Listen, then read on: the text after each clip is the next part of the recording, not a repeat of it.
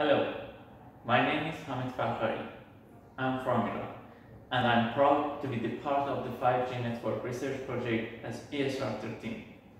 In this project, our research on the security of 5G and my focus is on designing a secure system for authentication as well as the protecting user identities and location privacy. We will expect the new privacy preservation and authentication algorithms and cumulative methodologies specifically developed for SCNs that will mitigate the security and privacy issues inherited in small cell networks while allowing for their advantages to remain.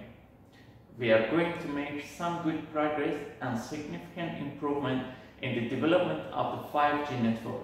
Wait for the good news. Thank you.